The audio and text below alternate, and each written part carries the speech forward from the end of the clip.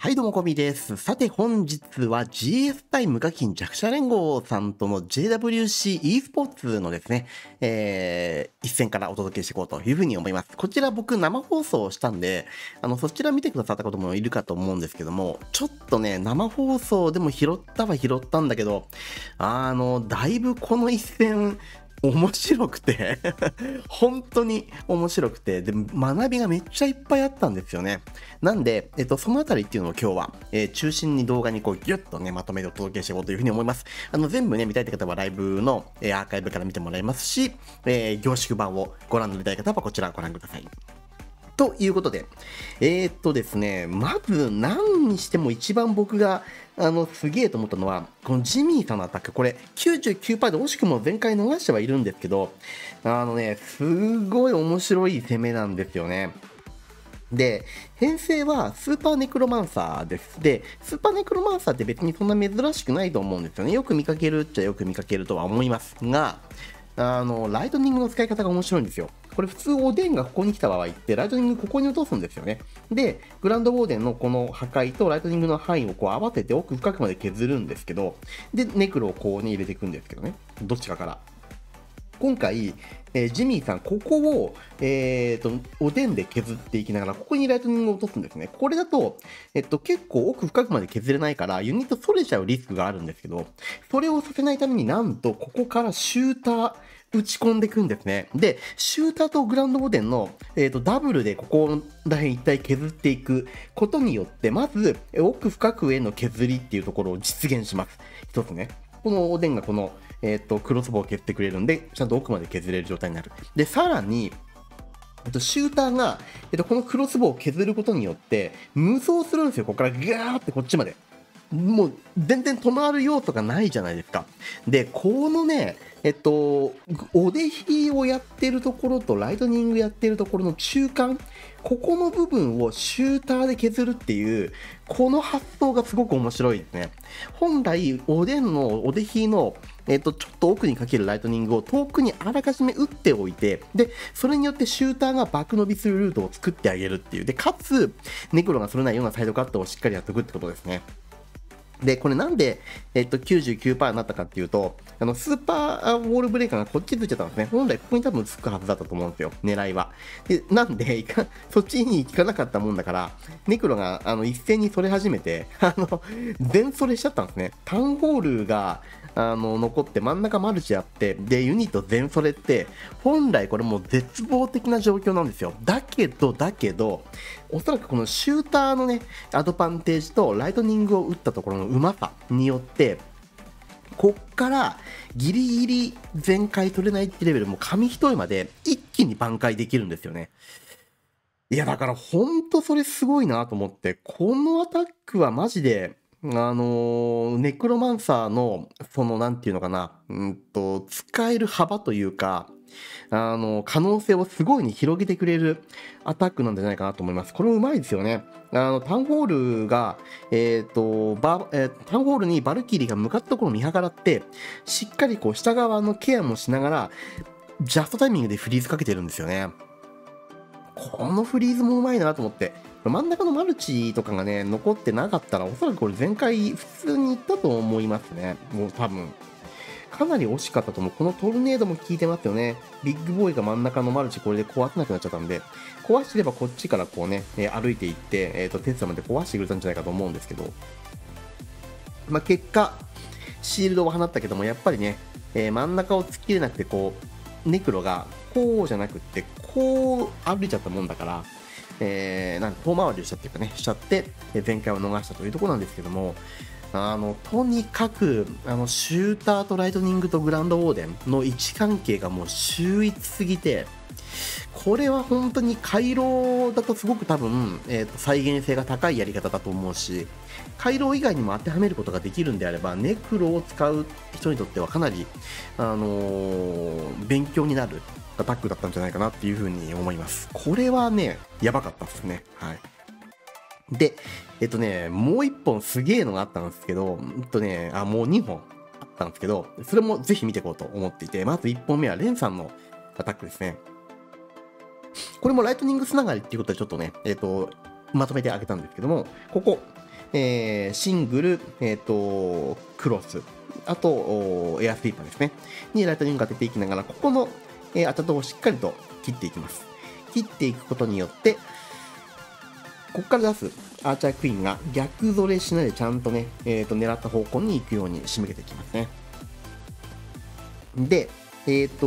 こっち側に行ってくれた方がいいんですね。あの、投石クロス2機があるので、下方面って結構、あの、ヒーローを止める要素が、まあ、多いですね。しかも、まあ、イーグル砲を早めに壊しておいた方がどう考えても有利なんで、きっと、えっ、ー、と、キングとアイスゴーレムを入れていきます。ここもうまいですね。ちゃんとガーゴイルであらかじめこれカットを入れておいて、えキングが絶対それないぞルートを作っている。で、おまけにここグランドボーデン像があるんで火力高いですから、まあ、ここ突破するようにアイスゴーレムもちゃんと入れてるというところですね。で、え周辺の防衛の対応全部、えキングとアイスゴーレムで取ったところを見計らってロイヤルチャンピオン投入。さらに、ジャンプの呪文を1枚使ってタウンホール角に入っていきます。ここまでヒーローにやらせるっていう話で、トームまで打たないかと思ったら、このね、後ろから来ているストライカー、こいつにトーム合わってるんですよね。これはもうプレイヤースキルの塊みたいな攻めですね。あの 真似しようと思ってもなんかとてもじゃないけど真似できないなっていう攻めだったんですけど、ただ、あのー、やっぱりね、えーと、世界選手権の、まあ、世界ベスト8に入るクランの、まあ、トップアタッカーたちってこういうレベルなんだなっていうのをね本当に改めて見ててもらったいい攻めだったのでちょっとねこれも乗っけさせてもらいました。で、えー、四方八方からこうね、えー、くの字型にもう押し寄せるように津波のようにね、えー、バルーンがこう突っ込んでいきましたね。で、えー、っと、きっちりと最後は投石の真上に集結して、投石のダメージを完封。投石機って真上には攻撃できないんで、真上に乗っかっちゃったらもう、あの、やられるがままなんですけど、で、残ったところはシングルと、あと、えー、っと、ウィットですね。この辺はもう、えー、フリーの呪文もあるし、まあ、ボマーもいるので、もうどうにでも突破できるっていうレベルの余力が残ってますね。で、このまま前回という格好です。まあなんかあの僕がこの攻めで一番すごいと思ったのはあのユニットっていうか、まあ、バルーンとかですよね。のユニットに全然呪文使ってないんですよね。あのほぼ全部をライトニングとヒーローパートに当てていて。でなんならこれポイズンを持ってきてないないのは多分ねこれポイズン忘れたんだと思うんだレンさん。さすがにポイズンはねあのー、数サイドで、えー、援軍処理するんであれば持ってくと思うんだけど。多分忘れましたね。で、まあ、これだけの大きなあの伸び、えーライ、トニングからのヒーローで、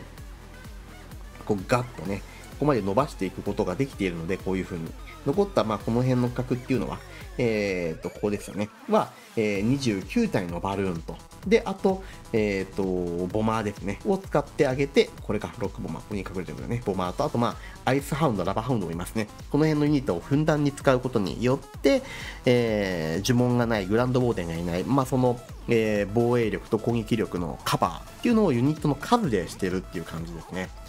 いやすごいですね。本当ヒーローを伸ばせるところにしっかり伸ばせるようにこう叩き込んでいって、伸ばせない部分っていうのはユニットの数で押していくみたいな感じの攻め方ですね。さっきのさんのアタック。これがね、あの、男のロマンが詰まってんなって思いました。めちゃくちゃ。あのね、えっと、スケルトン、えっと、バット、インビジブルですね。インビジブル4枚型になるんですけども、ここに打っていくんですが、ここね、あの、まあ、結果的に、結論言うと、えっ、と、シングル、えー、クランジを、えっ、と、壊すんですよ。この3つを壊しちゃうんですけど、はい、これね、レイジ・インビジブル、コウモリ、えっ、と、スケルトン。で、さらにインビジブル重ねるって感じですね。これ、あの、なんなら、こっちのクロスボウ、これも、なんか普通にこう、コウモリで壊せそうな感じなんですよね。さらにクエイクを重ねていって、めっちゃくちゃ惜しいんだけど、これ。な、なんでこれインビジブルもう一枚打たなかったのかなってちょっとね、思った。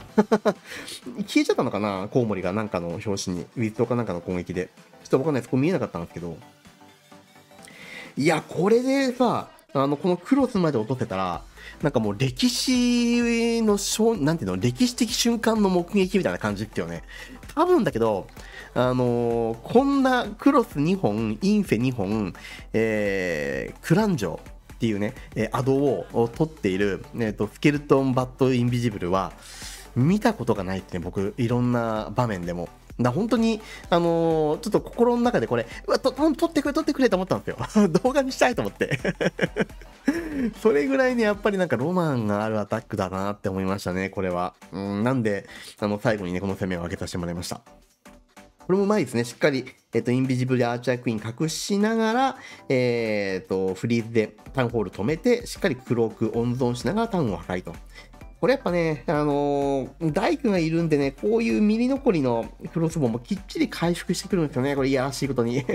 大工さんが。えー、ということで、ね、上方面からラバルを展開。今回はしっかりとグランドボーデンもついているので、マルチインフェルノ、クロスボウ、重なっているところでトームしっかりかけていって、ダメージを完封していきながら全開というところですね。で、今回の攻めもここ、えー、もうシューターがゴリゴリ破壊してくれていて、で、ここの真ん中の部分もね、えスケルトンインビジブルバットで壊すことができていたので、えー、だいぶなんていうのかな、ユニットを使って、えー、壊すところっていうのを呪文と兵器でだいぶやってたような印象はありますけどね。ただ、まあ、でもその後のアーチャークイーンの誘導ですね、キングロイちゃんをこちら側にこう持っていきながら、アーチャークイーン、こう、なんていうかな、一気当選的な形で、あの、別動体で歩かせるっていうのは結構僕勇気いるアタックだと思うんですけど、まあ、この辺を、難なくこうね、こなしてくるあたりが、まあ、GS のメンバーの凄みですよね。いや、こういう攻めでもやってみたいですね。なんか、僕本当にこの攻めを見て、あの、スケルトンインビジブルバットって夢あんなって 何度も言うけど、めちゃくちゃ思いました。思って、これ、やってみて、かっこいい、決まったらいいなってね、ちょっと思いましたよね。最近ちょっとラバルをね、ちょっと練習したりもしてるので、うん。あの、スケルトンインビジブルバットと、あと、クイヒーラバルとか、この辺、あの、楽しみながらね、えー、練習していって、まあ、いざ本番でこう決めれるようにもなっていけたらなというふうにも思っていてですね。まあそんなちょうど僕の胸にぐさっと刺さるもう最後の一発でございました。というところで、え今日はですね、GS さんとムカキンさんとの GWC スポーツの中から3本アタック、え見てまいりました。どれもね、かなりあの夢とロマンが詰まったアタックバカだと思うし、勉強になるとこいっぱいだと思うんでね、ぜひご参考にしてもらえたらというふうに思います。ということで、え今日の動画この辺で終わりにします。またご視聴よろしくお願いいたします。バイバイ。